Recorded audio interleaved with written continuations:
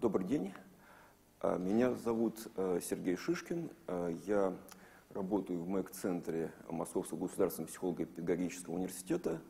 А, Это единственный в России центр, в котором есть магнитоэнцефалографическая многоканальная установка.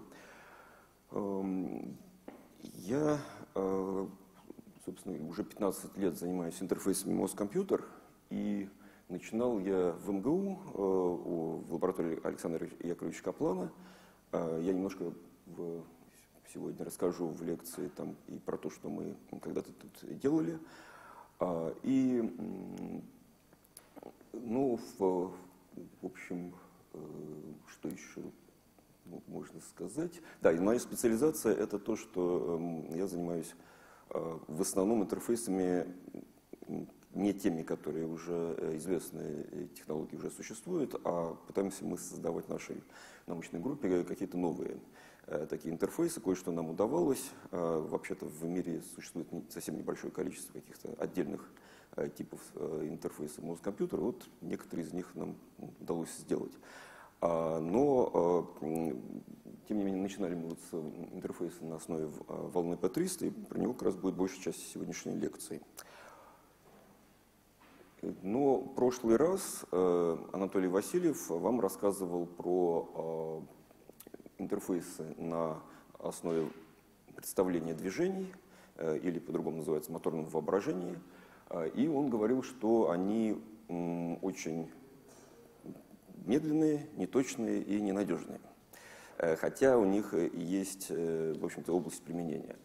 Э, Что касается тех интерфейсов, о которых я буду говорить, они немножко получше в этом отношении, но тем не менее, как вообще всякие неинвазивные интерфейсы, они тоже в сравнении, допустим, даже с инвазивными интерфейсами мозг-компьютер, они тоже медленные и неточные, а тем более в сравнении с обычными э, человеко-машинными интерфейсами.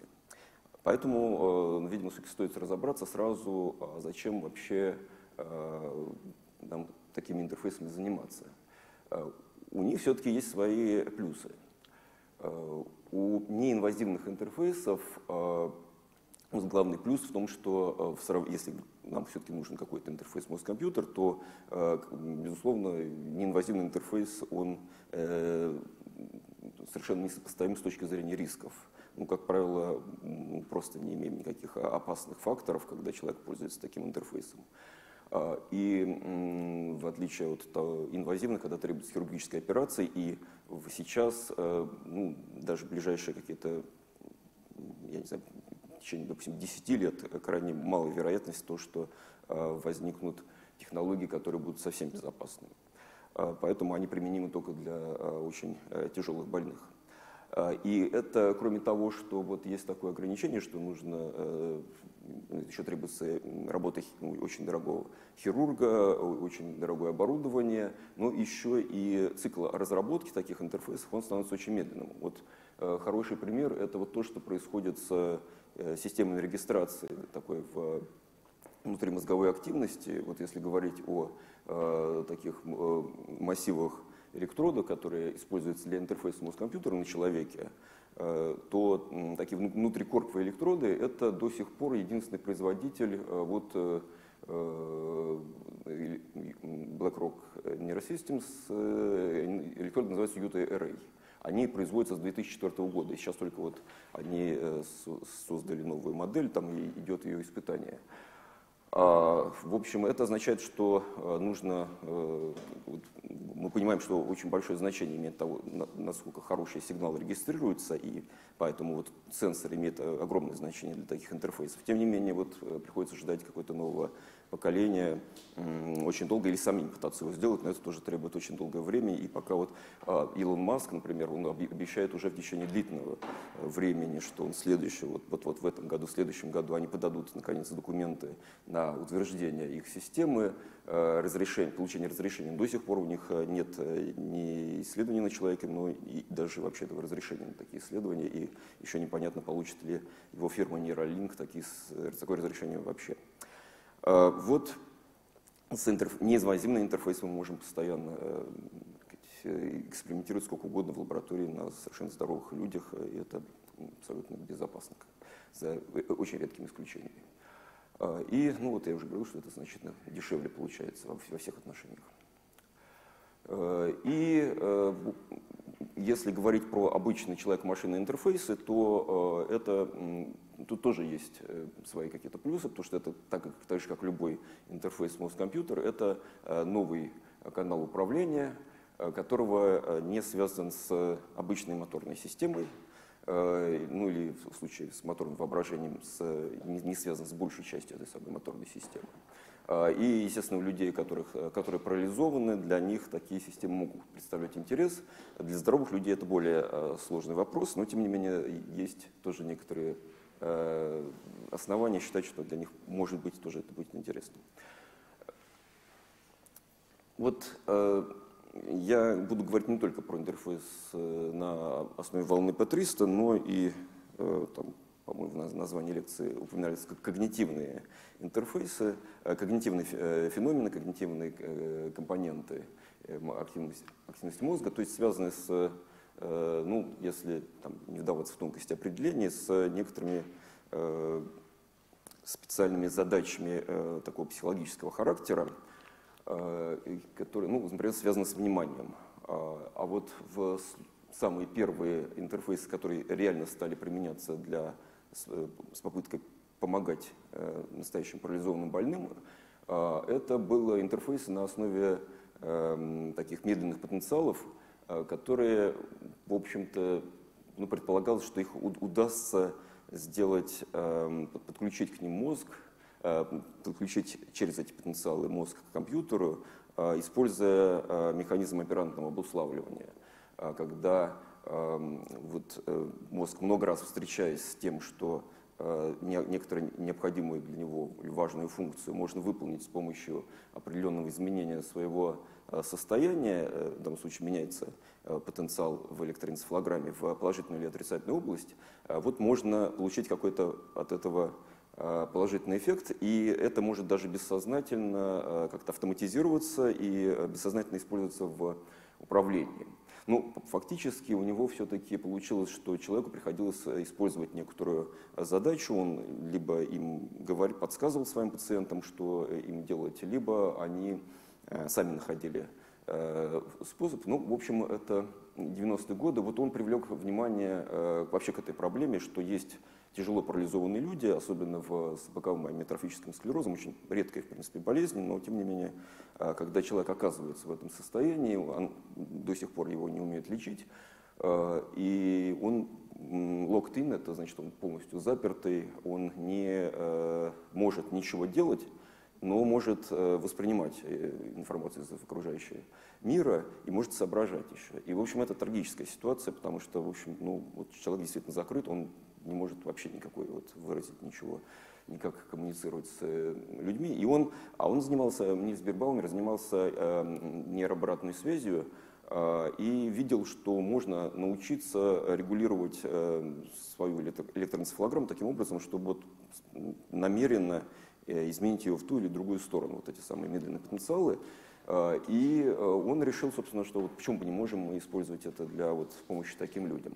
И он использовал очень простую э, математический алгоритм. Собственно, в основном у него все сводилось к тому, что просто ставился некоторый порог и смотрел, значит, вот эти медленный потенциал выше или ниже этого порога, э, или двух порогов. А вот первая его э, такая, не первая, это, ну, в общем, наверное, крупная такая статья была посвящена этому. Э, он называл это вот так довольно громко устройство для передачи мыслей.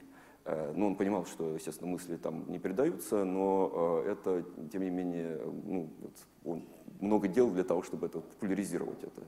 Э, поэтому он использовал иногда немножко такие вот приемы специфические. И вот это письмо, написанное пациентом этого Нильса Бернбауэра, которое, ну, наверное, общем, даже я такого не встречал больше, наверное, единственный на данный момент вот в литературе, где пациент подробно описывает опыт использования интерфейса мозг-компьютер, а, будучи, в общем, полностью парализованным. А, Причем здесь очень интересное описание, он описывает, вот, что он делал, а ему требовалось там вызывать какие-то вот а, либо такое некое напряжение, такое психологическое, либо наоборот расслабление. Ну, это делалось разными способами, некоторые хорошо работали, некоторые плохо, и он про это очень подробно описывает и говорит, что вот иногда удавалось это, не, не удавалось, точнее говоря, оно как-то становилось автоматическим, и не нужно было вот эти состояния как-то а, что-то делать у себя в голове сознательно, просто вот он хотел, допустим, а, сделать на экране то-то, и оно автоматически происходило. А, причем не случайно просто, а вот много раз подряд он чувствовал, что это он попадает в какое-то такое состояние, где он автоматически, вот, собственно, а, его мозг взаимодействует с этой системой и выполняет то, что он хочет. Но, э, к сожалению, это было все-таки довольно э, нечасто. А, и вот, собственно, как это все писалось, это вроде так э, здорово выглядит, но он 6 месяцев писал это письмо. Потому что, ну вот, такая вот плюс-минус, когда есть просто бинарный выбор, Э, Почему он должен в течение некоторого времени был сделать? Ну, фактически там три варианта. То есть это не, не делать выбор, а сделать выбор в одну сторону, сделать другую. А, но, э, э, тем не менее, вот эти бинарные выборы, их, ну, чтобы там делился алфавит, понятно, да, на, сказать, части последовательно. Вот нужно для того, чтобы напечатать одну букву, нужно было сделать несколько таких выборов. И, соответственно, вот статистика такая довольно тяжелая. Понятно, что это не э, какая-то вот регулярная работа с этой системой. А, и, в общем-то, это, конечно, сейчас существенно улучшилось, э, эти интерфейсы, но нельзя сказать, что они э, прямо вот какая-то вот произошла революция, несмотря на то, что использовались самые разные уже, сказать, применялись вот всевозможные методы машинного обучения, вот что-то новое появляется, в общем, стараются э, так или иначе в течение нескольких лет так обычно идет, начинается адаптация, э, но все равно вот в САЭГ есть проблема. Это, мы не можем видеть отдельные нейроны, мы видим очень большие группы. Э, потому что иначе мы просто их не видим. Их, сказать, у нас слишком большой шум вот такой фоновой, фоновой работы мозга. И, соответственно, нос необходимо, получается, чтобы Э, эти группы нейронов, очень, много нейронов э, научилось вот выполнять э, некая наша вот потребность, ну, то, что точно, наш, грубо говоря, наши команды, на наши команды каким-то образом реагировать а, или наши намерения. А, и, соответственно, у них же есть какая-то у всех своя функция, и, значит, каким-то образом а, их надо учить, ну, либо отключаться от этой функции, либо параллельно выполнять то и другое, ну, и это, соответственно, будет постоянная э, ну, неизвестно на самом деле, как там, э, что происходит, э, действительно ли они переключаются или параллельно выполняют то и другое, скорее всего, все-таки второе. Но вот это очень немногие задачи, собственно, дают, такие психологические задачи дают возможность сделать, создать какой-то эффективный сигнал, который мы можем увидеть. И, да, я тут еще написал, что нужны сухие электроды, очень важны. Это что значит? Ну, мы э, в, в обычном эксперименте можем использовать, в лаборатории использовать э, гель для контакта между электродами и кожей. Э, казалось бы, в общем, такая ерундовая проблема, но даже для тяжело больного человека, если у него там даже есть кому за ним ухаживать, все равно это большие сложности. Не говоря уже о здоровом человеке, который просто потребитель, там, не знаю, какую-то игрушку или для каких-то еще там целей купил, каждый раз использовать гель, потом мыть голову или там просто как-то его очищать, это ну, неприятно.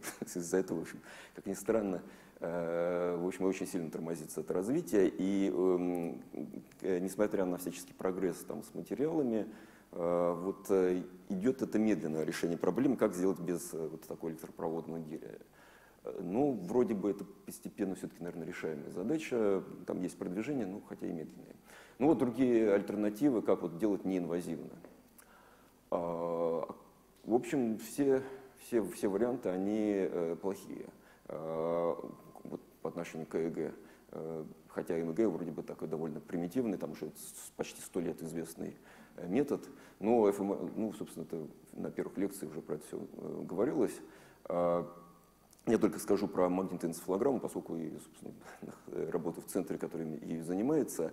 А, это интересный сигнал, поскольку он э, сочетает и высокое временное разрешение, и высокое пространственное разрешение. А, ну, не такое, как ФМРТ, но тем не менее высокое.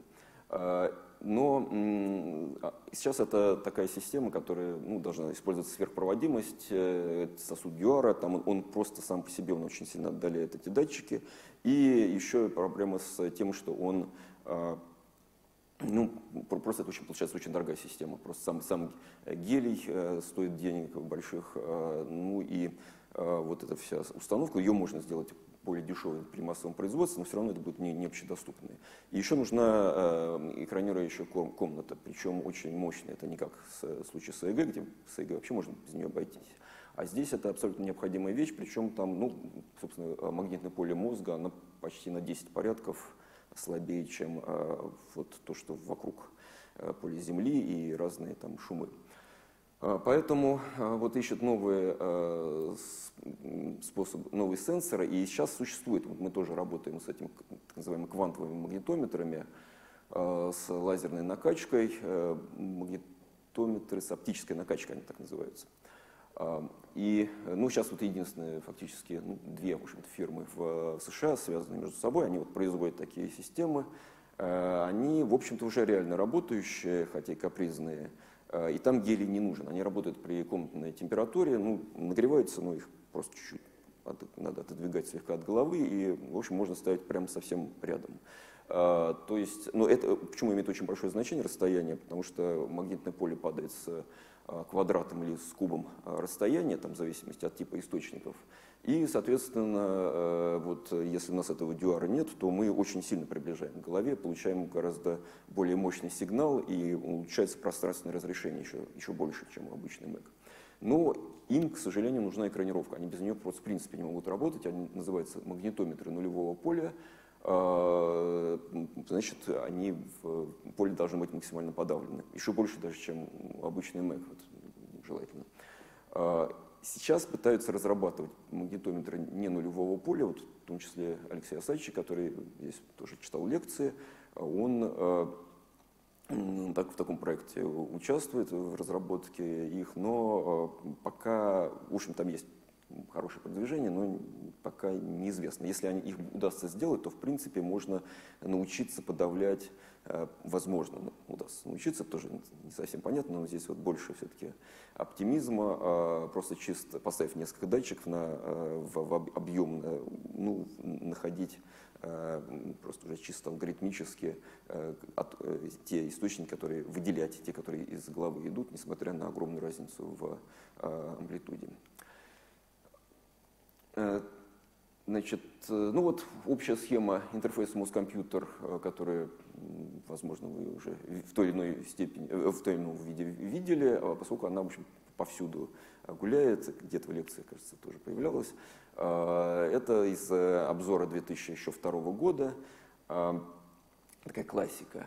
Вот. Э, я, собственно, про нее не буду говорить, я буду говорить про то, что на ней нету. На ней нету, в общем, такой важной части, это, собственно, что делает пользователь. А вот я уже сказал, что далеко не каждое мысленное действие производит такой вот эффект, что мы получаем различимый сигнал. А, и вот это очень принципиальный момент. А, к сожалению, вот то, что вот это было широко разошлось вот в таком виде в правой части – этой схемы, а, по-видимому, привело так, с одной стороны, к тому, что очень много инженеров стали заниматься вот э, этими системами, поскольку, ну, вроде как все очень понятно, что вот надо сделать такую штуку, и все будет работать. Но, с другой стороны, там просто получается огромное количество какой-то некачественной, собственно, ну, делается работа без всякого продвижения, тупиковым э, образом, там, просто ничего не дает для того, чтобы это развивалось. Э, очень важно все-таки понимать, что вот за вот эти самые действия мы делаем э, делает пользователь. Ну вот, э, я уже говорил, что Бирбаумер используем возбуждение, возбуждение расслабления. Ну, так вот, они разного типа. Например, возбуждение может... Вот этот пациент говорил, что у него... Он использовал образы, например, натянутой стрелы в тетиве лука или э, ожидание переключения э, светофора на зеленый сигнал, ну или какие-то такие вот события, которые кратковременно имеют еще характер, чтобы это не просто так взбудиться, и, ну, что он там, один, вы, выберет половинку этого алфавита, там в течение минут, нескольких минут будет она. А здесь он мог это динамически менять, это довольно важно. Вот. Но все равно это довольно напоминаю, тяжелая штука. Вот сейчас мы перейдем, собственно, к интерфейсам на волне P300, на основе волны P300. Вот это с помощью такого интерфейса было написано уже вот это письмо. Но, в общем-то, здесь скорость написания была практически такой же. Но это тяжелые больные в том в другом случае. В обоих случаях где-то примерно, когда хорошо шла работа, где-то две буквы в минуту получалось. Но в данном случае человек, вот это реальный ученый с молекулярной нейронаук, он даже пишет, что он не только занимается исследованием, а еще с гранта вот три человека, значит, он платит трем людям. Это его спросили описать его, как влияет на его жизнь вот это использование вот этой системы. А он дома использовал ее уже там в течение где-то двух лет, вот к тому моменту, когда вот эта статья вышла. Но так, значит, это просто чтобы вспомнить, как выглядит электроэнцефалограмма, из каких-то там реальных наших записей. Э, вот, э, значит, напоминаю, что мы имеем какое-то количество каналов, а во времени это все вот э, развивается, и вот по оси вертикальной мы еще имеем вот эту амплитуду, собственно, этой электроэнцефалограммы, это сырой сигнал. А, и сейчас, вот, чтобы понять, что такое вот эта волна P300, я просто напоминаю, это было уже тоже где-то скорее на семинарах, чем на лекциях, а, там это называлось вызванный потенциалом. А, вот эта технология вот, э, очень простая, но имеет просто два разных названия. Либо потенциалы, связанные с событиями, еще либо по-русски называется, связанные с событиями потенциалами. Вот, либо вызванные потенциалы. А, где-то в, в английском примерно ну, до 70-х э, и первые половину, может быть, 8, наверное, до 70-х годов э, использовалось evoked potentials, то есть вызванные потенциалы.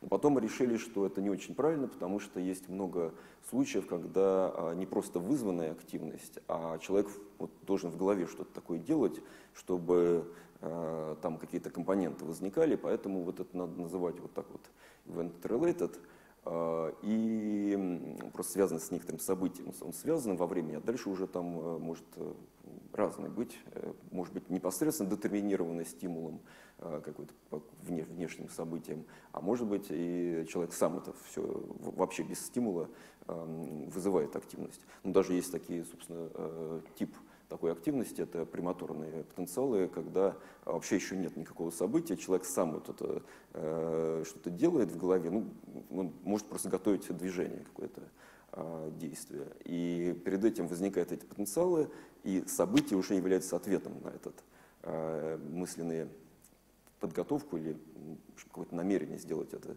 э, действие, а и развитие этой мозговой активности. Э, то есть события уже возникают после. Но вот э, это уже такие мелочи. К сожалению, по-русски это вот не прижилось название, его довольно часто заменяют просто на вызванные потенциалы. Поэтому получается небольшая путаница, просто, если смотреть, что в литературе на английском и на русском. А, но это по, по смыслу все равно это одно и то же. В общем, у нас есть некая временная метка, но в данном случае вот э, иллюстрация это эксперимент, когда человек показывает на экране крестики и нолики там, на какое-то короткое время и смотрит, вот в данном случае один из каналов ЭЭГ, и вот э, что-то вот после крестика, здесь вот после крестика, здесь после нолика, вот так вот можно разметить запись а, и нарезать на кусочки, соответствующие крестикам и ноликам отдельно, и из этого получать э, просто усреднением, усреднить вот эти пробы, трайлы, эпохи, которые соответствуют единичным таким предъявлениям. Ну вот получается, в случае, если у человека было задание смотреть, считать, допустим, количество ноликов, или нажимать на кнопку, там, когда они появляются, какие-то еще такие действия делать, Э, мысленные или физические, а, то будет потенциал, особенно если еще и вот этих ноликов было меньше, чем крестиков, э, будет высокоамплитудный такой потенциал, который называется либо P300, либо P3. И он будет, э, в случае с крестиков тоже можно появляться, но он будет меньше. А, это, значит, он потенциал, который, э, ну, там нет абсолютного точного понимания все-таки, что, к чему он соответствует, но вот он связ, связан с релевантностью вот этого, того, что происходит, события. А, ну, такое как бы основное понимание. И почему вот это разные названия P3 или P300? P3 это, ну тут можно догадаться, что это а, просто порядок вот этих волн, а, позитивные и негативные.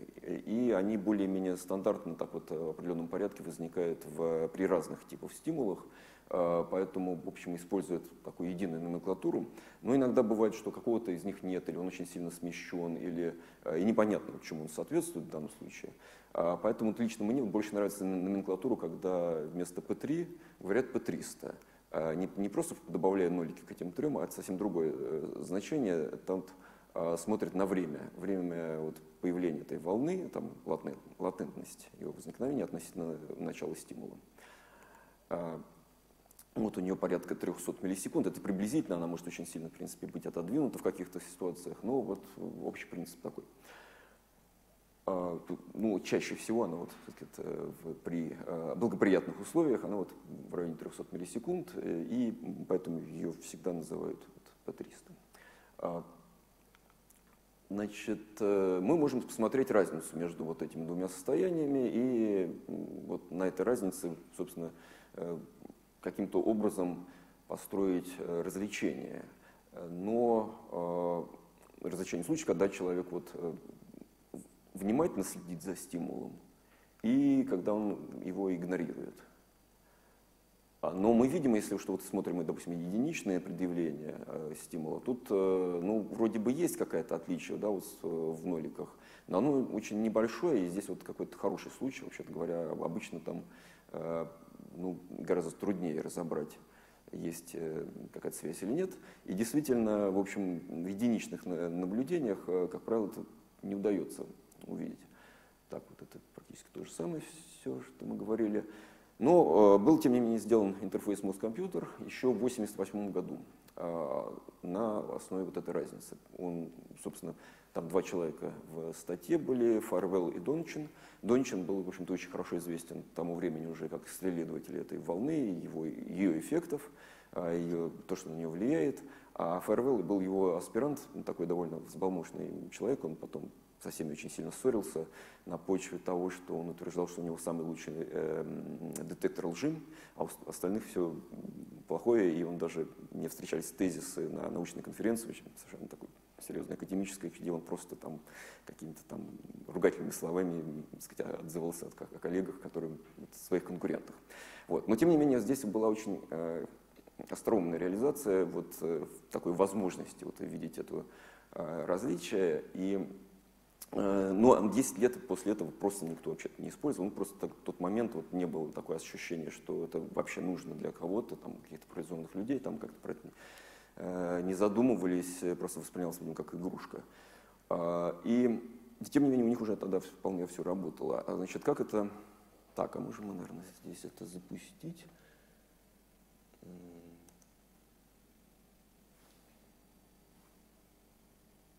О, так, вот, вот так оно, это на самом деле из реально вот э, лаборатории Каплана в МГУ, э, каких-то экспериментов, вот мы сделали такую визуализацию, вот там реально использовалась вот такая картинка.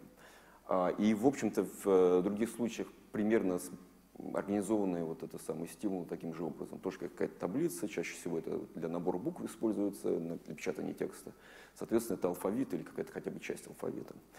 А, смысл а, вот того, что мы сейчас видели, это, собственно, вот эти самые стимулы, а, которые видит человек, пользователь или испытуемый. И, допустим, у него, э, вот ему в эксперименте обычно там есть какая-то стадия, где показывают, какую букву э, надо печатать, ну или если это стадия, когда обучается классификатор э, в самом начале работы с ним, то просто ничего не печатается, а человек просто должен задание вот посмотреть на букву М, потом на букву О и так далее. Ну или в, в тесте это он воспроизводит это слово. А вот буква М, допустим, если она мигает, а, но она мигает, на нее значит, попадает либо вертикальный, либо горизонтальный столбик. А, все равно, какой столбик на нее попадает, ой, не столбик, а строка или столбик, все равно э, он должен э, считать, если она моргнула. Это позволяет э, получить некоторые различия в потенциалах, которые во времени привязаны к миганиям либо строк, либо столбцов. И мы знаем время, вот очень принципиальный момент, то, что мы, вот, момент времени должен быть точно известен. Если мы его знаем, соответственно, мы можем сделать вот то, что мы сейчас вот э, говорили, э, нарезать это ЭЭГ, э, выделить для каждого столбика отдельную, ну, можно это усреднить, допустим, да, отдельную группу вот этих эпох ЭЭГ, отдельно усреднить, посмотреть, что там получилось. И где-то вот эта волна P300 будет больше в одном из столбиков или в одной из строк, больше, чем у других столбиков или строк. А, соответственно, вы, мы их вот, ну, если мы в эксперименте, мы знаем, а, где были а, целевые и нецелевые стимулы, те, на которые человек смотрит, на которые не смотрит, вот их можно отдельно усреднить и получать вот э, очень хорошее различие. Но правда, вот это если, в данном случае, это картинка по довольно приличной группе испытуемых, и каждый еще много раз это проделывал, это смотрение, ну, вообще-то он не просто смотрит, а обычное задание считать, считать подсветки этой буквы, ну или каким-то еще образом так, на нее четко реагировать.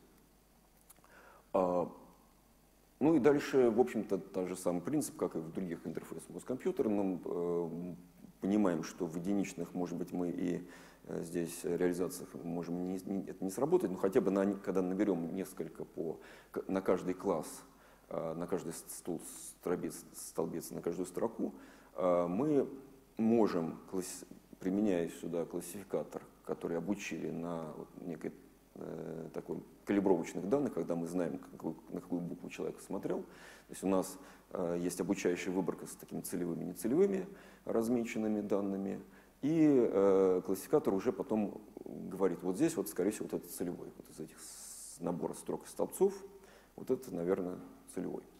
А, ну, чаще всего требуется несколько вот этих подсветок, как минимум. А, ну, у здоровых людей при некоторых, а, когда четко смотрят, ну, еще тогда у нас, когда не было очень мощный классификатор, мы обычно линейный дискриминантный анализ использовали там с какой-то регуляризацией. В общем, бывало, э, некоторым людям удавалось почти без ошибок печатать на единичных вот э, подсветках. Ну, один одна строка один столбец, ну это, правда, редко, чаще все-таки несколько. Для больных это бывает, требуется существенно больше. Ну вот с 1988 года вообще-то принципиально вот эта схема э, это э, практически никак не изменялась, и сейчас это, в общем, реально используется там для разных больных, но надо, конечно, понимать, что это э, вот между людьми очень большая вариативность, вот, допустим, тут вроде бы красиво, вот это ЭГ, а, она вот, если смотреть разные исследования, там ну, очень похоже будет. А вот индивидуально смотреть, то там бывают очень разные варианты. Но все-таки то, что есть очень много э, сходства вот в таком усредненном виде, можно находить для даже каких-то вариаций, в общем, какие-то похожие в популяции каких-то людей, ну, видимо, можно делать все-таки, э, сейчас некоторые а, коммерческие проекты, там, это, там удавалось вроде бы это сделать, на большой группе ну, обучить э, какую-нибудь мощную нейросеть, и она уже теперь э, на новом человеке может без дополнительного обучения э, довольно быстро начинать сразу работать, потом, если дообучается, она уже делает все меньше и меньше ошибок. Э, вот. Но, казалось бы, тут мало что можно изменить, но тем не менее, вот мы самые первые годы, когда начали этим заниматься в МГУ, тут э, поняли, что а, если подходить не как вот, ну, как вот э, я говорил, что все-таки самое такое вот э, массовое э, было а, массовая категория тех, кто этим занимался, это были инженеры, и они, как правило, просто воспроизводили полностью один к одному вот эту табличку. Мы сразу стали думать, а надо все-таки понять, что же там происходит, а, поскольку мы биологи, там, психофизиологи, мы думаем с другой стороны, не как это технически это усовершенствовать, а вот что там по сути. И вот, э, в частности, здесь вот две, два факта, которые мы нашли тогда, самый первый, первый где-то год, наверное. А, это то, что, ну вот это называется, э, то, что я рассказывал, вот эти крестики-нолики, это отбол парадигмы, когда есть стимул, который относительно редкий, но за ним нужно, именно за ним надо следить. И он немножко выделяется как бы из, из ряда вон, как бы вот выходит. А, вот эта отбол парадигма, в ней обычно предъявляется стимул где-нибудь, допустим, в центре экрана, где его хорошо видно, И он, она очень хорошо известна в психофизиологии, собственно, вот она почти всегда используется для в таких классических, ну, типичных исследований, когда нужно вызвать эту самую P300 для каких-то целей там, ее изучения. Э, но мы посмотрели, э, вот, э, а вот если все-таки здесь вот выглядит немножко по-другому, эта картинка здесь не центр экрана, да, есть стимулы с разных сторон, есть ну, какая-то довольно сложная ситуация. А для зрительной системы явно это что-то другое. И мы посмотрели, что в зрительных областях происходит в, в случае с этой самой двол парадигмой и в случае с этой матрицей э, с буквами. И оказалось, что там совершенно разные вот эти потенциалы связаны с событиями. А, то есть здесь вот пунктиром это вот то, что в отбол парадигме, а с, с крупные вот эти жирные сплошные линии это то, что вот в, в, в случае с матрицей для целевых стимулов. Для нецелевых там, в общем, тоже получалась очень маленькая амплитуда. А, то есть получается, что там есть зрительный потенциал, который тоже различает, э, более ранний, чем вот эта волна P300, тоже различает, эти, смотрит человек на подсветку или он э, смотрит какое-то другое место. А, почему это было важно? А, дело в том, что э, очень много работ, в которых получался какой-то ну, замечательный прогресс. Вот можно э, вот, не, не две буквы в минуту, а вот там много букв в минуту набирать, в общем-то, так сяк. А, но это все обычно испытывается на здоровых людях. Потому что с больными, ну, все-таки тяжело работать, понятно, что их э, заставлять какими-то такими вот вещами заниматься чаще всего просто не очень этично, потому что реальной пользы для них нет, а им все-таки ну, тяжеловато. Вот, и уговорить просто их сложно. А, их родственников. И, соответственно, работают со здоровыми людьми, и, э, а здоровый человек, вот, если он хорошо владеет своим взглядом, да, он э, взгляд четко направляет на эту букву. Парализованные люди, они, ну, в зависимости от там, того, что у них парализовано, вот, например, вот в боковом амиотроф, амиотрофическом склерозе, там на поздних стадиях, там, к сожалению, глаза уже тоже очень плохо работают, и э, человек не может фиксировать эту букву. И, собственно, вот поэтому вот тут э, заведующий лабораторией, о котором я говорил, он э, э, печатал эти две буквы в минуту. У него не было вот этого самого, видимо, хорошо выраженного вот этого компонента. А, вот. Э, ну, собственно, мы там одни из первых это нашли, собственно, одновременно публиковали там еще с несколькими людьми вот эти наблюдения. А, мы нас тоже цитировали, тем не менее. Э, обратили внимание. И э, другое наблюдение это то, что мы можем, э, несмотря на то, что вот этот компонент, казалось бы, зрительный, да, он совершенно не меняется, если мы меняем довольно сильно эту матрицу, например, э, меняем э, цветовую схему или там яркостную схему.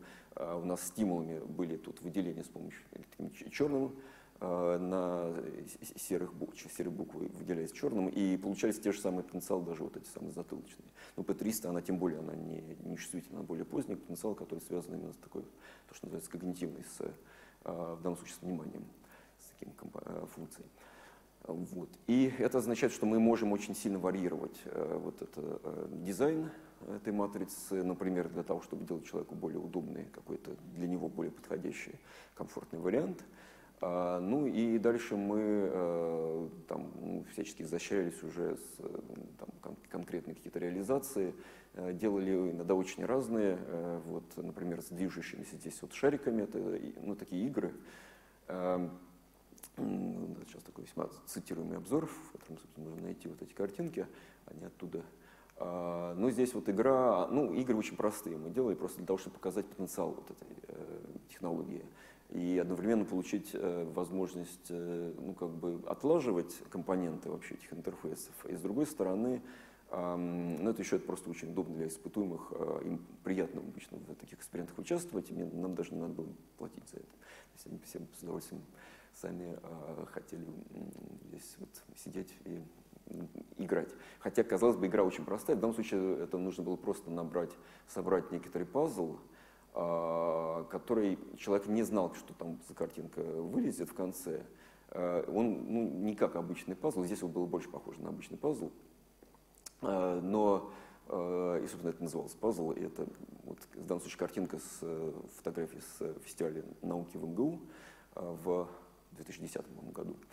Вот. А здесь это мой тогдашний студент Илья Ганин, вот, в рамках у него был проект, поддержанный грантом «Умник», сделал такую игрушку, где э, шарики бегали, они вот э, выполняли, в данном случае подсвеч, подсвеченный шарик, э, функции вот этих стимулов, но задача была просто собрать вот эту картинку э, последовательно, ну, по, алфавиту, по алфавиту А, Б, В. Ну, казалось абсолютно тупая задача, но тем не менее было очень интересно, потому что э, в подавляющем большинстве случаев было очень сложно понять, особенно, ну, сейчас вот это, может быть, можно разглядеть, что тут такое, и то, наверное, с трудом. Э, они, во-первых, обрезаны, э, то есть это не, квадратный фрагмент, как здесь, а во-вторых, они еще круг, бегали по экрану, поэтому, ну, там, я даже не уверен, что в хоть какую-то картинку можно было догадаться, что там получится, поэтому он был довольно интересно получался. Ну и ошибки это, если человек вот следит за этим шариком, выбирается другой. А, и вот одна из идей была то, что мы, может быть, мы сможем сделать тренажер внимания. То есть вот человек, а, если правильно следит за этим шариком, то у него вот а, он поощряется тем, что не меньше ошибок, он выигрывает, и тогда вот, э, значит, он как-то приучается контролировать свое внимание. А, к сожалению, вот эти работы у нас не очень пошли дальше. Э, оказалось, что вот у игровых фирм э, как-то ну, не хватает интереса. Хотя ну, у нас были идеи, как это, собственно, в этой статье это описано, там, ну, мере, намечено, нету в первой из них, а, намечено, что можно сделать именно для того, чтобы это в игре было интересно, более, гораздо более динамично, чем здесь, естественно. Но это вот у них обычно просто для них нужно э, просто переделать всю игру, э, встраивать это в тут дизайн, э, какие-то наши там идеи, а им, ну, они вкладывают очень большие деньги в том, чтобы вот это все отладить, чтобы с конкурентами, там, потому что как-то игра выглядит не очень хорошо, ее сразу проигрывают в конкуренции там, другим фирмам. И я даже вот совсем недавно консультировался с человеком, который вот коммерческий был проект именно направлен на то, чтобы нейроинтерфейсы на такие игры а, создать и пустить вот в, в коммерцию. Но вот он говорит, что это все не получается, потому что слишком там жесткая конкуренция в, этих, э, в игровой индустрии. Но, тем не менее, вот, э, а, а, просто тренажер внимания, ну, может быть, можно сделать, но как бы это как ни странно, до сих пор нет, нет ни одного исследования, которое бы четко показало бы, что это а, можно действительно тренировать таким образом. Хотя и, были попытки, но вот они какие-то такие не очень убедительные результаты. Может быть, там надо просто дольше этим заниматься, но вот пока непонятно. Но, тем не менее, вот то, что вот в МГУ тут было там дальше, ну, я в 2010 году уже э, там, перешел сначала в МИФИ, потом Курчатовский институт, а а здесь продолжалось довольно много интересного а, вот, в клиническом уже направлении. А, нейрочат, про него уже там э, вы слышали, если слышали предыдущие, слушали предыдущие лекции. Ну, собственно, там э, такой набор букв для, главным образом, набор букв э, системы коммуникации для парализованных больных, которые реально вот есть там сотни уже изготовленных этих нейрочатов, и они там распределялись бесплатно там по клиникам. И э, ну, есть еще там другие подходы. Это вот э, интересная такая идея сделать э, для нейрореабилитации, вот Анатолий Васильев в прошлый раз критиковал моторную нейрореабилитацию на основе моторных интерфейсов мозг-компьютер. А здесь была идея вот по 300, а она, собственно, и сейчас вот, собственно, пытается заниматься, кажется, в Самаре еще там есть продолжатели, это а, кроме Каплана, еще Михаил Лебедев э, тоже вот этим продвигал. А, там э, идея такая, что э, для нейрореабилитации важно делать движение в нужный момент, пытаться сделать.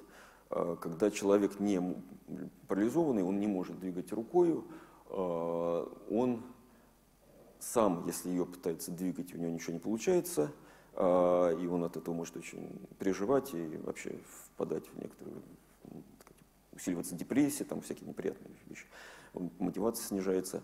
А если ему э, кто-то эту руку, там, медсестра или родственник, или э, там, а, робот двигает, то это как-то может быть не в побат. Он, у него нет э, соединение с его вот намерением сейчас сделать это движение. И ну, есть предположение, что это плохо, лучше делать, ну то есть это как-то работает, но лучше сделать, чтобы вот именно тогда, когда человек, вот, вот я сейчас пытаюсь это сделать, и оно делается.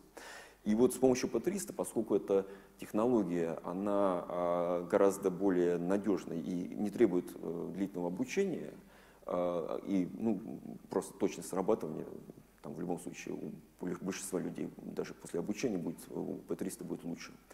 А, то ее, а там еще время очень важно после инсульта, чтобы это долго не заниматься там какой-то просто этим обучением, а сразу ну, в нужный момент это все началось, это восстановительные мероприятия.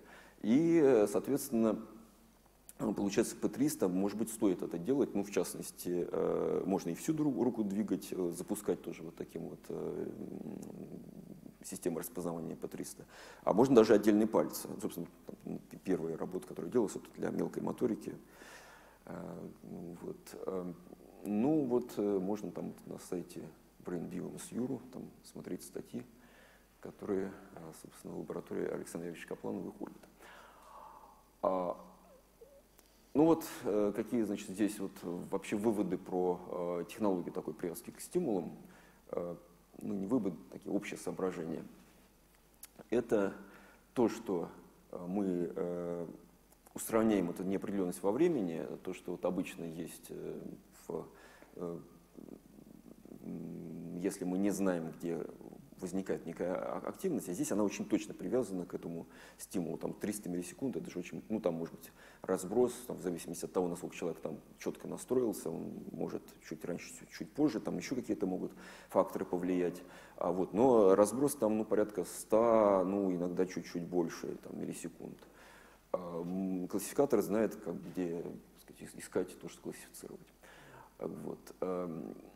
Но, естественно, здесь э, проблемы – это то, что называется чувство агентности, а, когда человек вот чувствует, он или не он делает какое-то действие. Вот высокая агентность, э, хорошее чувство агентности, это значит, что вот человек вот, он понимает, что вот, вот он э, там что-то такое в голове сделал, и интерфейс вот выполнил, вот это, допустим, движение там, рукой его. А может быть, что у него непонятно, то есть это то ли это робот сам там все-таки как-то влияет, он как-то на это не влияет, потому что, ну, есть время, некоторые проходят, и он должен попадать вот в эти, в такт с этими стимулами, а, никогда он строго, вот он сейчас и захотел, а вот стимул еще нет, значит, да, он не может быстро сработать.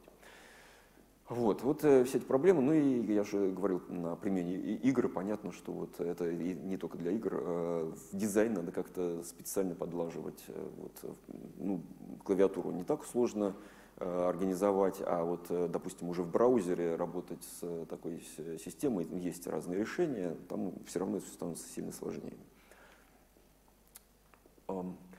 Ну, да, вот это асинхронное, это системы, которые можно подавать в любой момент, здесь полностью асинхронно сделать нельзя. Хотя мы делали такой приблизительно асинхронный, когда вот некоторым скользящим от ней, вот, обрабатывающим эти стимулы, как-то это все это срабатывало. А, даже сделали там, в определенном классе устройства, в какой-то момент у нас был а, фактически такой мировой рекорд, а, который продержался несколько лет а, скорости и точности срабатывания. Вот. Но, тем не менее, это все-таки не очень э, хорошие показатели. Э, еще вот функция зрительных стимулов какая интересная есть. Это, кроме того, что они время кодируют, э, они еще кодируют место. Э, ну вот то, что мы говорили, что вот это, мы знаем время предъявления стимула, да, но мы еще и знаем хорошо, где он показывается. Через вот эту связку времени позиции, и мы вычисляем собственно, вот это, что, что за буква там печатается, нужно, нужно напечатать.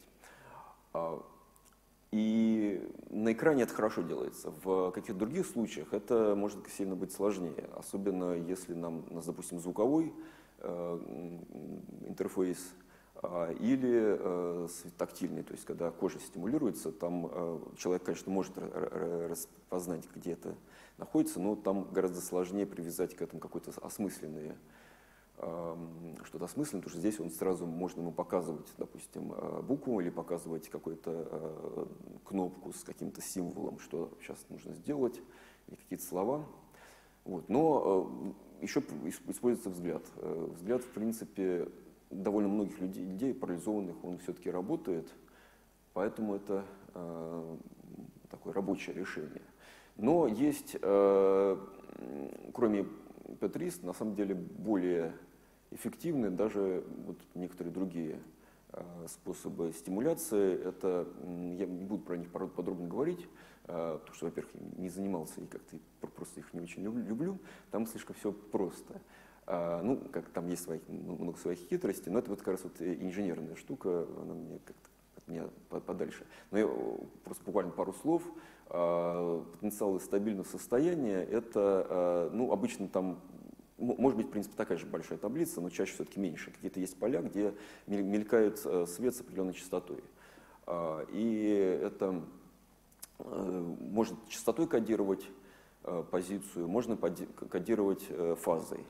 Э, фазы немножко сложнее это организовывать, но, а можно даже сочетание частоты и фазы, то есть тогда можно действительно большую таблицу набрать.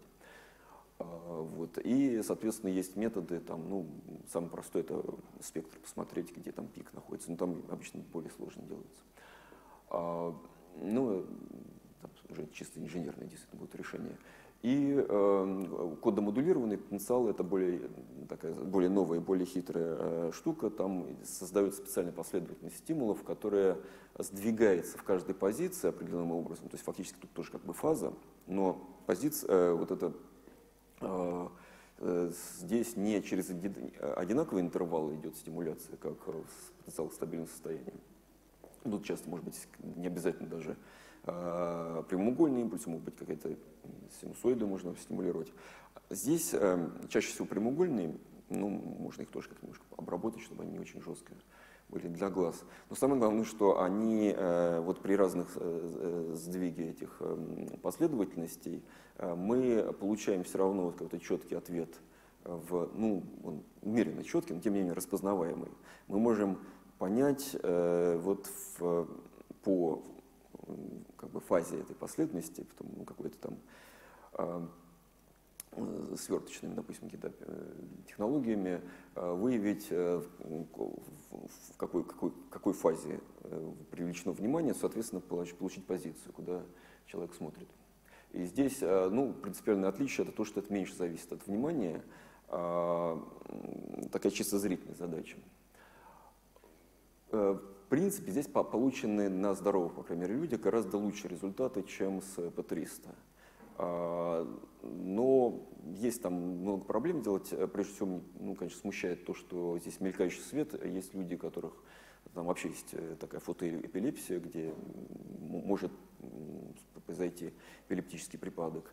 И, в общем, не очень понятно, что будет, если человек очень много, вот, то есть регулярно использует вот такие стимулы, на них все время смотрит, не будет ли у него там каких-то проблем с его мозгами.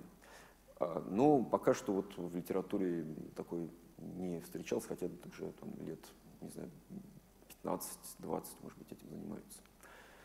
А, так, что-то тут у меня нету. А, вот в чем хороший взгляд. Э, ну, еще дополнительный значит, плюс, то, что здесь используется взгляд, он э, такая автоматическая штука, которая двигается все время без всяких э, усилий и наводится, вот не нужно там сейчас вот, да, вот, просто вот смотрит, нам нужно на эту букву смотреть, значит мы смотрим. И человек ну, довольно часто имеет какой-то предыдущий опыт до интерфейса мозг-компьютер. Обычно человека компьютерными интерфейсами Э, вот. И он, э, ну, когда мы работаем с экраном, мы все время смотрим куда-то на экране, а без экрана обычно, собственно, с компьютерами никто не работает. Ну и э, вот известно, что моторные действия довольно часто идут после того, как человек смотрит на какую-то позицию. Но, правда, не всегда. Там есть случаи, когда и после, вот было исследование, когда смотрели, когда вот наводит человек мышь на какое-то место, значит, он до или после, вот, соответственно, тут распределение таких вот случаев, такое, ну, все-таки больше случаев, когда а, сначала взгляд, хотя не намного больше. А, и Ну вот в случае с, если мы заменяем на слуховые тактильные, вот это, к сожалению, уже не работает. И еще проблема вот то, что не используется вот этот потенциал, который я говорил, вот этот э, зрительный потенциал, который довольно крупный, и он, в принципе, вносит для здоровых, по крайней мере, людей или для людей, у которых взгляд движется, э, хор хороший вклад вот для П-300. Вот. А, такая картинка очень, э,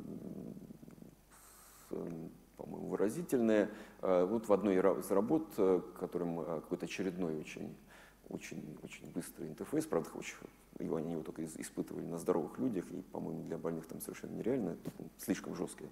Но они в, с, со скоростью одна буква в секунду могли печатать.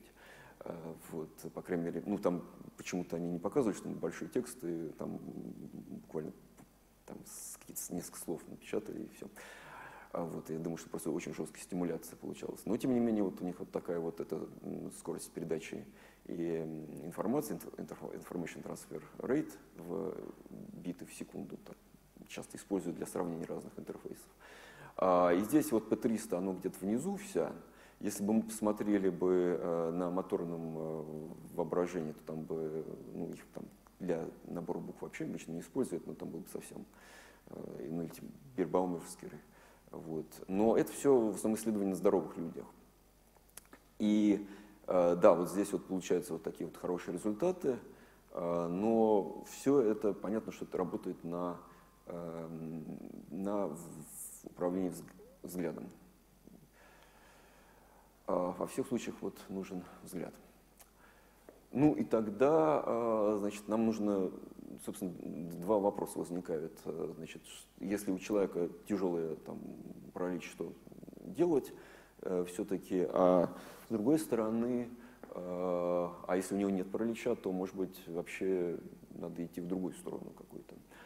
А, ну вот в случае, если там тяжелая ситуация, поздней стадии, допустим, вот этой бокового амиотропного склероза, амиотрофического склероза, и э, взгляд не работает, то э, вот слух осязание, но еще, э, так, почему-то не в том порядке это выскакивает, да, вот с центра экрана.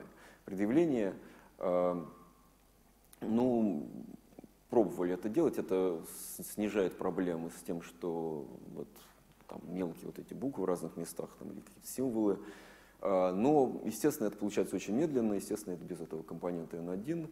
А, нет вот этих э, возможностей пространственного кодирования, то есть человек должен ждать новый стимул и не пропустить его, иначе там, в общем, а, все это сильно удлиняется. В общем, такие пробовали вещи делать, но как бы не, не очень хорошая штука. Вот. Волна ожидания – это значит, еще один когнитивный феномен, который, э, в, так же как вот волна P300, он очень давно известен, э, но вот в отличие от волны P300 он э, не использовался очень долгое время, ну, были единичные работы. А, как ни странно, его, да, я сейчас все-таки, извините, вот про предъявление в одной позиции, тут еще одну вещь скажу про нее забыл, что еще для здоровых людей, оказывается, это работает, может работать очень неплохо. А, можно показывать очень быстро картинки, ну вот иногда это делается даже больше 10 картинок в секунду, а, и если там какой-то есть объект, который человек хорошо может э, рассмотреть, э, не рассмотреть, он ну, такой вот специалист по этим объектам. Например, в аэропорту э, смотрит э, то, что в чемоданах там какие предметы, нет ли чего-нибудь опасного. А, и можно показывать ему эти картинки очень много подряд. Он, если ему дать кнопку, он будет э, плохо на это реагировать, э, ну, будет не успевать, ему, в общем, ну, будет как-то сбиваться. А по э, волне P300 там можно э, очень неплохо, э, ну там еще какой-то комплекс есть, ну P300 прежде всего, на это реагирует. И, как ни странно, вот это вполне реальная технология, которую один израильский стартап сейчас развивает. Ну, не знаю, там реально где-то внедрят в каких-то аэропортах или, может, внедрили уже, но вот они говорят, что, по крайней мере, деньги в это вкладывают, вот, говорят в то, что можно таких опытных специалистов, ну, экономить их время, они могут сразу несколько сканеров просматривать. А, вот таким образом. А дальше там можно, ну если, э, в принципе, они, конечно, могут ошибиться, что-то там подозрительное, ну это можно в э, отдельный, так сказать, этот слайд э, еще раз показать. Там, ну, это развивается довольно давно уже. А, ну, вот интересная область. Там еще можно посадить много операторов и им одновременно это все показывать. И э, вот если ну, что-то очень важное, допустим, нужно очень быстро отловить, Э, то э, это может помочь ну, понятным образом. Вот. Э, ну, мне, вот, честно говоря, это, я несколько раз я думал, не заняться ли такими вот тоже технологиями, но мне всегда каждый раз останавливал то, что соображение, что, скорее всего, это очень скоро вот вместо человека можно будет нейросеть сажать, и любые задачи будут решаться. Сейчас пока еще такого нет, есть много задач, которые человек лучше делает. Но, тем не менее, вот, а, ну, мне кажется, что это, в общем, как бы технология такая ненадолго. Вот. Но, а вот волна ожидания, тут мы ей занимались довольно долго. А впервые ее, а, собственно, вот я вот это нашел как-то а, в, в кабинете у Каплана, тоже э, нашел журнал, вот совершенно ну, почти случайно просто нашел вот это, у него оказался этот журнал, с, э, я где-то обнаружил эту ссылку к каким-то, каким поискам, э, и оказалось, что специалисты просто ну, не знает почти никто вот про то, что были такие вот, это тезисы просто на конференции. Грей Уолтер, э, человек очень известный в ЭЭГ, он, э, собственно, открыл эту так называемую волну ожидания в 60-е годы в начале и, и в конце 50-х, в начале 60-х. И, в общем, очень много ее изучал.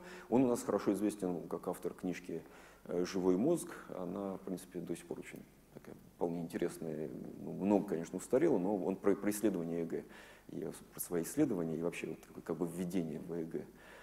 Вот. А, ну вот этот Грей Уолтер а, оказалось в этих тезисах, он а, предложил использовать и эту волну, и еще волны намерения, ну это фактически были премоторные потенциалы, в одном интерфейсе мозг-компьютер – Э, это ну, совсем коротенький текст, это тезис, да, а, но там очень такие умные мысли, как вот э, можно попробовать это использовать для вот прямого мозгового контроля машин, управления машинами. А, сейчас вот э, ну, трудно такие вот работы встретить, но человек действительно очень умный был. А, но мы пытались, мы еще до того, как я нашел, собственно, почему я заинтересовался этой волной ожидания, сильно я немножко расскажу позже, но так или иначе я сейчас скажу про другую работу, вот применение вот к этому самым с интерфейсом на P300. А, если у нас нет вот этого компонента N1 или N180, там по разной номенклатуре зрительного, чем мы можем его заменить? Вот э, китайцы предложили такую вот штуку буквально в этом году, а, я был рецензентом этой работы, они там, правда, перепутали. А, они, у них сначала была не волна ожидания, они тоже из каких-то инженеров, но такие умные довольно. А, они э, как, бы intention waves думали, что там, э, ну, то есть премоторные потенциалы, но там просто было по всему видно, что это совсем не то, и у них ну, получилась бы какая-то такая не очень э, правильная вещь, поэтому я им а я когда-то уже этим занимался э, еще вот в, тоже в сочетании P300. Мы попробовали тоже это сделать. Что, собственно, делается там? Можно сделать так, чтобы человек ожидал момент предъявления стимула.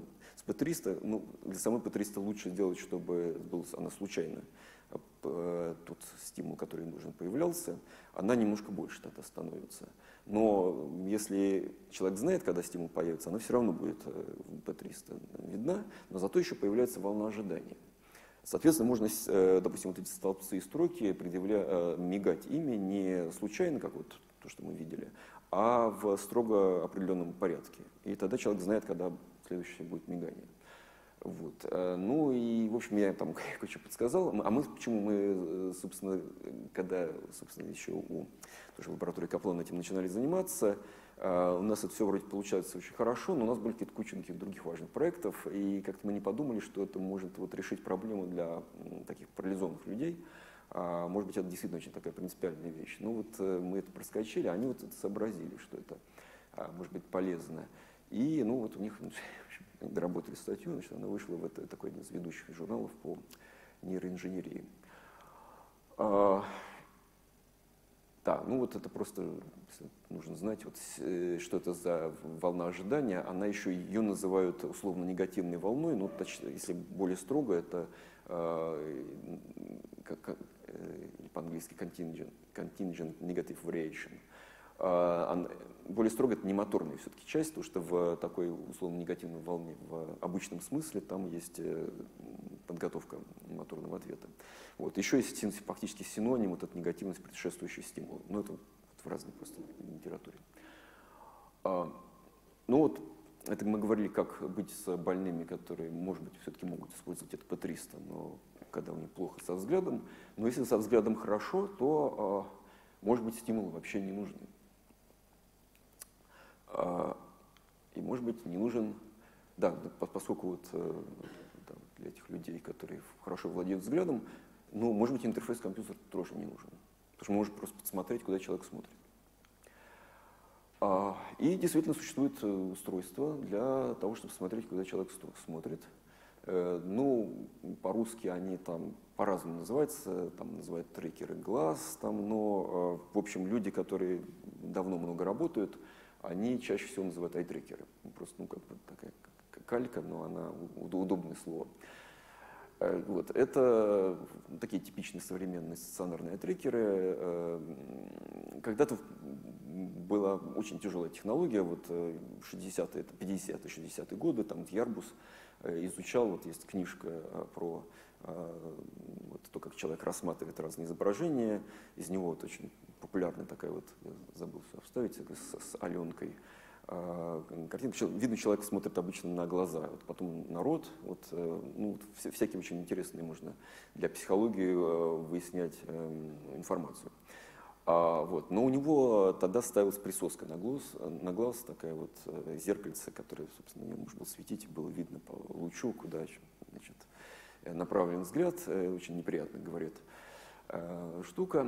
Э, вот когда появились скоростные камеры и э, возможность быстро обрабатывать изображение с них и с помощью алгоритмов компьютерного зрения, еще довольно давно уже это все, какие-то были алгоритмы, там еще с 80-х годов, можно вот светить инфракрасным светом, ну, вот, вот это такой блок, которым не видно, где там э, подсветка. А здесь вот, э, ну, вот можно видеть, что да, вот это инфракрасный осветитель и видеокамера для отслеживания взгляда. Ну и вот эти компьютерные алгоритмы э, направляются на, взгляд, на глаз, где тут стоит перед, под экраном обычно. Вот это сейчас, вот, наверное, самый лучший пока что, много лет уже выпускается, вот канадская фирма, очень дорогой, но очень точный айтрекер. Э, вот. А это может быть носимая технология, но здесь э, отличается в основном тем, что ставится еще видеокамера, которая э, должна смотреть, отслеживать поле зрения, потому что здесь есть экран, и все привязывается к экрану. А здесь мы, чтобы вот очень удобно, в принципе, то, что перед глазами вот эти осветители и камеры стоят, можно получать точный результат, но мы не знаем, куда человека направлены э, его глаза, и, соответственно, для этого нужно вот камеру жестко привязывать к положению головы, и тогда вот это все, ну, точнее, к этим позициям э, видеокамеры, прежде всего, которые смотрят на глаз. И, в общем, там тоже получается, в результате мы видим, куда в пространстве человек видит, смотрит. Но это не очень удобно для а, того, о чем мы сейчас говорим, об управлении компьютерами. А, вот такой вариант. А, особенно, ну, парализованные люди, там, как-то особо движение, собственно, головой обычно не работают, и поэтому, перед, когда это просто перед экраном стоит, это совершенно достаточно. Но для робототехники, допустим, управление робототехникой, это может быть полезная вещь. Так вот, значит, вот можно использовать э, движение глаз для взаимодействия с компьютерами. Вот это одна из классических, ну, наверное, самая известная вот область управления с помощью взгляда статья, там, 30 лет назад еще, 32 года, 31 с половиной написанная Роберт Джакоб. Ну, он здесь уже тогда писал, хотя это было очень давно, и тогда и трекеры были очень дорогие, не для такого массового использования. И довольно еще плохо работали, но он говорит, что технических там барьеров э, уже практически нету, это все может нормально развиваться, но э, очень важно, чтобы это э, взаимодействие каким-то натуральным образом происходило. И вот это было сложно, и до сих пор это осталось не очень простым делом. Ну вот видно, что он на военных тогда работал, потому что там думали, что это можно как-то там ускорить какие-нибудь там действия. Э, вот. Потом оказалось, что все-таки очень слишком ненадежная технология для таких целей. А, да, ну вот э, это построено на том, что человек вот может произвольно, э, ну, как правило, у него глаза двигаются непроизвольно, есть сакады фиксации, сакады быстрые движения фиксации, какие-то задержки. Очень важно, что человек может двигать весь день, ну не может, он не может не двигать, точнее говоря. Нет, глаза двигаются постоянно, и они не устают. А, и э, это означает, что э, вот мы, если каким-то образом немножко задействуем для э, целей взаимодействия с компьютером, возможно, это тоже не будет человека сильно утомлять. Действительно можно подобрать такие режимы. Но обычно это делается с помощью того, что человеку предлагают смотреть на какие-то там такие экранные кнопки, какие-то позиции на экране, которые как бы чувствительными делаются к его взгляду. Ну, то есть мы знаем, что если вот взгляд попал в эти координаты, мы там запускаем какое-то действие в операционной системе, там в печатании текста или что угодно. А, там используется чаще, ну, точнее говоря, там часто говорят про фиксацию, на самом деле достаточно просто, чтобы взгляд некоторое время находился вот в этой области. Обычно такой критерий. А, и а, ставится порог, по-английски это dwell time, или dwell time threshold, ну, для такой задержки. Ну, для больных там обычно более длительные, для здоровых более короткие но все равно довольно быстро срабатывает, может срабатывать. А, иногда предлагают там как-то моргать, э, ну, моргание плохо, потому что человек и так моргает без э, всяких автоматических э, вот этих действий. И если делать, предлагать делать двойные моргания, это слишком утомительно. А, достаточно, чаще всего просто достаточно этих задержек. Глазные жесты – это когда человек делает по определенной траектории, допустим, сакады, но это как-то обычно неудобно и Э, сейчас, в общем-то, это не особо развивают. Там, можно выучить, например, э, некоторую последовательность движений глаз. Тогда, в принципе, можно не на экран, а, допустим, при каких-то других случаях. У вас, допустим, если идет отслеживание взгляда, и вы просто в пространстве сделаете какой-то определенной траектории, и вдруг что-то произойдет, включится свет, там, а, что-нибудь еще. Э, вот. Но это слишком утомительное как раз вот дело. А прослеживающее, это когда вот что-то движется на экране, иногда это позволяет, допустим, очень на с, с этих умных часах, например, распределить, на а, поместить стимулы на очень маленькой какой-то такой а, поверхности. В этом смысле удобным. Но это редкие все технологии. Вот как это печатание текста. Вот, э, из э, диссертации такой вот финской исследовательницы не очень в открытом доступе, в общем, такая очень подробная э, диссертация есть. Ну, просто экранная клавиатура, человек задерживает взгляд, тут кружок чем больше, тем дольше задержка была. И ну, видно, что иногда он исправляет то, что то есть наша кнопка delete жмет глазами. А вот. Но, видимо, чаще всего там, у него было печаталось без ошибок, все нормально, когда все напечаталось, он нажимает вот смотрит на эту кнопку, которая отдельно находится, поэтому, э, в общем, это так достаточно э, получается удобно, на нее вряд ли будет смотреть случайно. А, но э, вот в случае, когда с вводом текста, тут получается все очень хорошо. А вот если эм, делать какой-то более сложный интерфейс, например, управление браузером, там оказывается уже проблема, потому что человек, например, смотрит на ссылку, а, для того, чтобы просто прочитать, что там написано, или э, задумался, идти туда или не идти на какой-то А у него сразу за счет того, что он сказать, глаз задержался, сразу идет срабатывание, и он переходит на страницу, которую он не хочет идти еще. Может.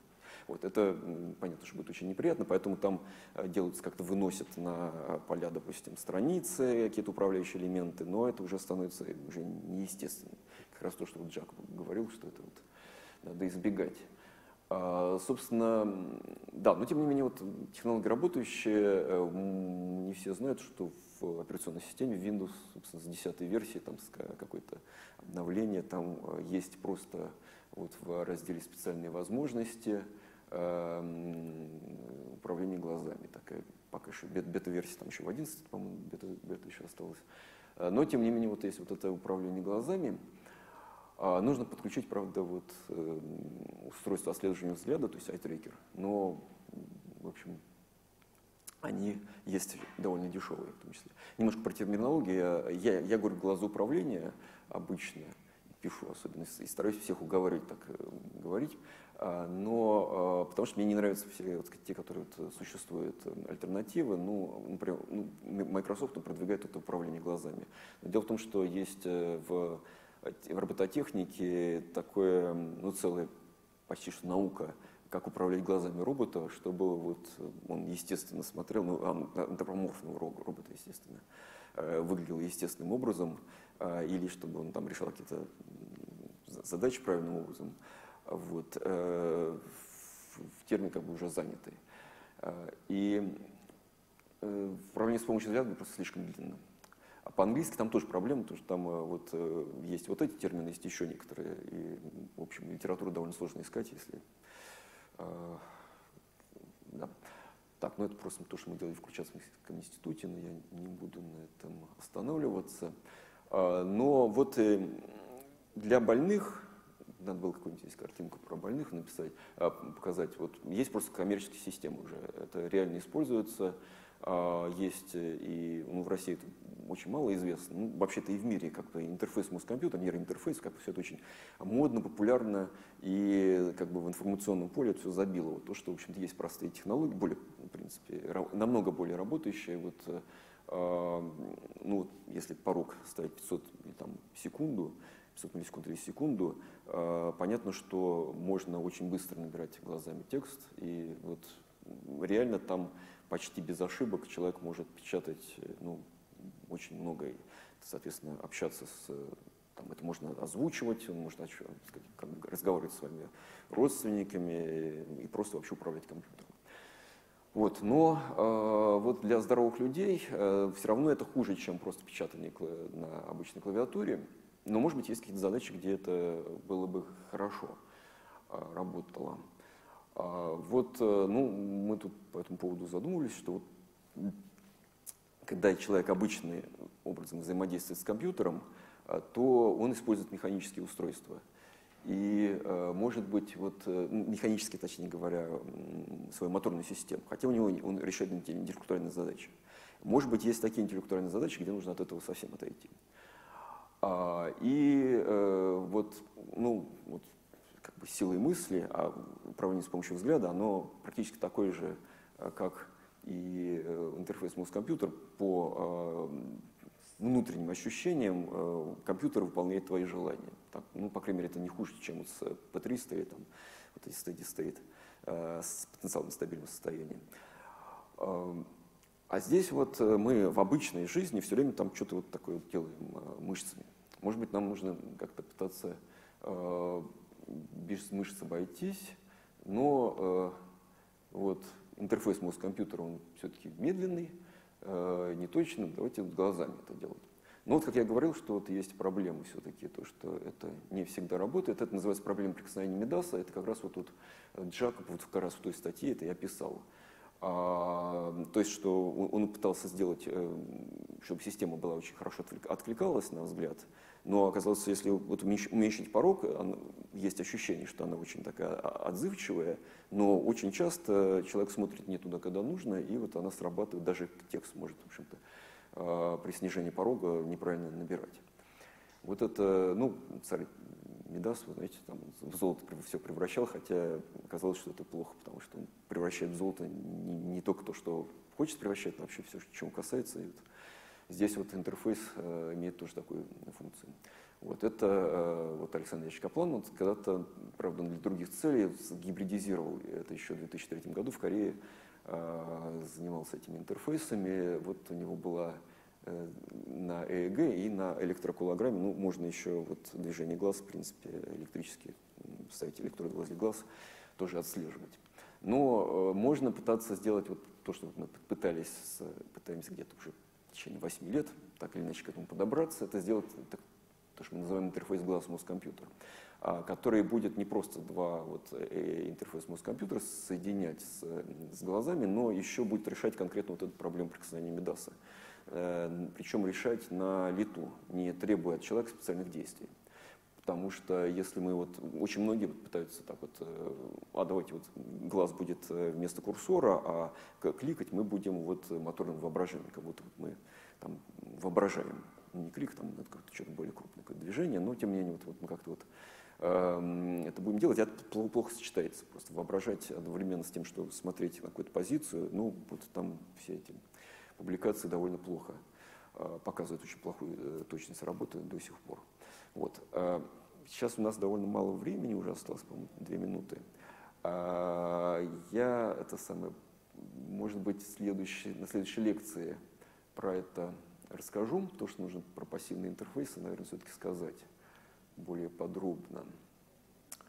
Так что давайте да, давайте про, про пассивный интерфейс я все-таки скажу в следующий раз. И вот это самое...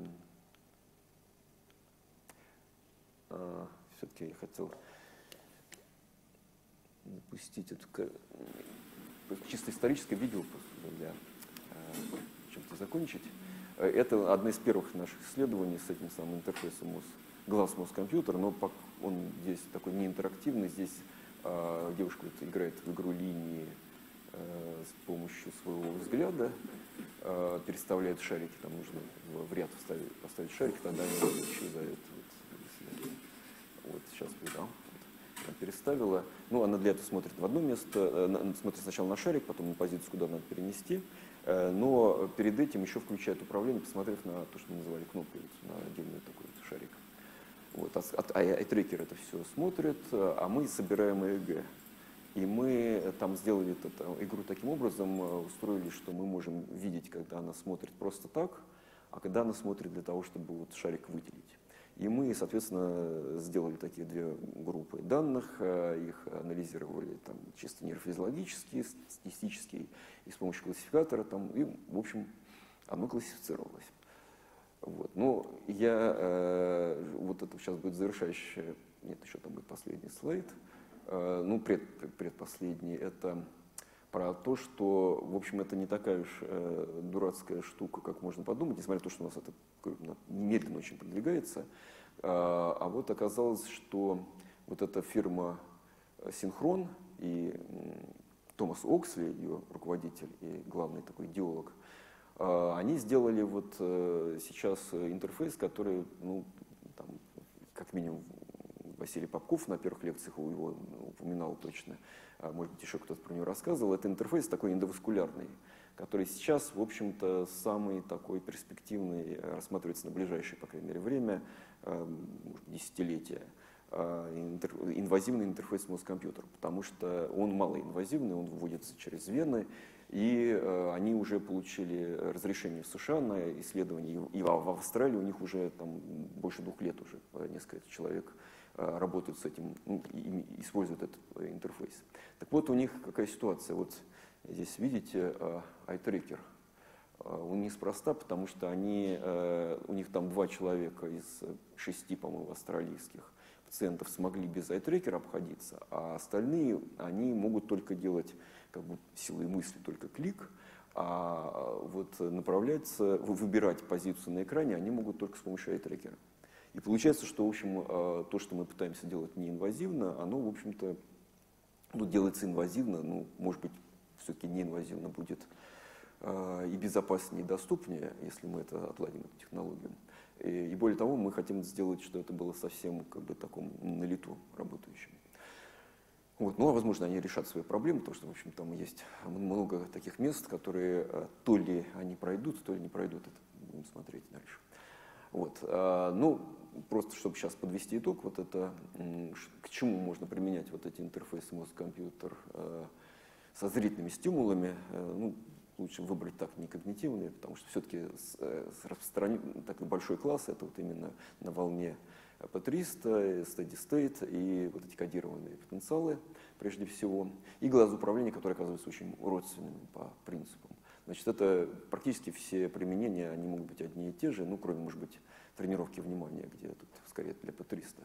Вот, набор текста, взаимодействие с компьютером, это все упрощенные взаимодействия. Понятно, что, допустим, управление инвалидным креслом, там выбираются какие-то э, такие destination, куда ехать. Вот. Нейрореабилитация я говорил, а про игры я говорил, тренировку внимания я говорил. В общем, примерно понятно, о чем тут может идти речь. Но вот эти последние, вот они под вопросом потом, в общем, будут ли сделаны. Есть, конечно, множество игр в литературе, есть готовые, там, э, где-то их можно найти, особенно для глаз. А вот это одна из фирм, которая, ну, самая крупная, которая производит айтрекеры, Тоби, она, там у них просто на сайте есть бесплатные, там, которые можно к их трекерам, допустим, скачать, и платные. Там, еще. Вот. Но это все-таки пока так и не, не очень да, конкуренты. А, спасибо за внимание. Я сразу рекламирую, а, хотя у нас еще будет одна лекция, вот наш канал Нейроинтерфейс, хотя, возможно, вы его знаете. И еще одно, ну, собственно, в этом канале я напишу где-то сегодня или завтра про, напомню, что будет такой у нас вебинар про 27 декабря, где у меня будет такое выступление про активные интерфейсы для здоровых людей. Э, может быть, это тоже кому-нибудь будет интересно. Там вот будет ссылка. Э, спасибо. Есть ли вопросы?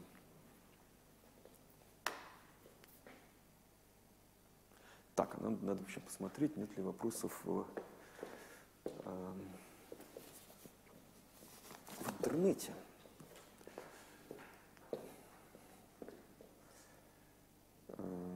Ну, похоже, ага.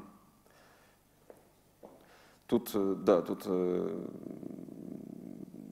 дали ссылку на управление с помощью взгляда с средствами обычной веб-камеры ноутбука. Но я немножко прокомментирую. Действительно, можно с помощью э, веб-камеры это делать. А почему это сложно? Потому что все-таки без инфракрасной подсветки э, трудно очень обеспечить э, хорошее освещение глаза. Э, стабильная. И это, ну, у одних людей работает, у других не работает, в одних условиях работает, в других не работает. Э, Все-таки пока вот эти технологии, они ну, сильно хуже, чем вот то, что вот с помощью такого профессионального айтрекера можно сделать. Ну, или там и надо непрофессиональные любители тоже делать какую-то инфракрасную подсветку, сами обеспечивают, то как-то э, помогает. Хотя с ней надо осторожно, потому что, в принципе, можно высушивать глаз и вплоть до того, чтобы получить какое-нибудь заболевание, если слишком там неаккуратно пользоваться. Какие-нибудь еще вопросы?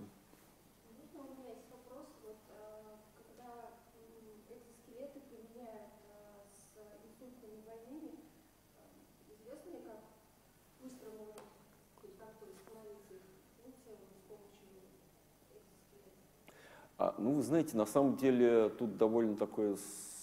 Я, я не очень хорошо знаю эту область. Я знаю, что в, вроде бы э, экзоскелеты действительно э, помогают а, но а, вот насколько, то есть в принципе, вот э, вообще, вообще разница между экзоскелетом и человеком, который, допустим, медсестра или даже сам больной иногда, это, у него здоровая есть рука, он может ей там помогать себе э, делать это, такую тренировку. А, вот. Лучше делать вот эту тренировку, чем ее не делать, это совершенно точно, но там нужно знать, когда и как. И, э, а вот чтобы вот именно в нужный момент попадать вот этим самым, э, то есть э, каким-то образом, в принципе, наверное, может больной сигнализировать, допустим, медсестре, как, когда это делать. Хотя я вот так вот не, не встречал конкретные данные, и тем более сравнение, допустим, с интерфейсом мозг-компьютер, как вот на прошлой лекции вот Анатолий Васильев говорил, что а, там все-таки в этих исследованиях довольно Э, с, плохо с контролем обычно. Вот когда на интерфейсе мозг-компьютер, к сожалению, там э, контроль, который к этому подбирает, он, ну, там, его можно критиковать И такого, чтобы посмотреть на какие-то наиболее напрашивающиеся, такие вот более простые варианты, так вот все-таки нет.